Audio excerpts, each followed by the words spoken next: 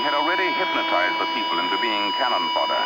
He arranged for Nordic youth to be kept in special camps to mate with Nordic maidens. Their children were to be the elite of the future.